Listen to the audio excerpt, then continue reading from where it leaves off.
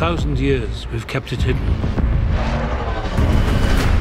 The secret history of Transformers.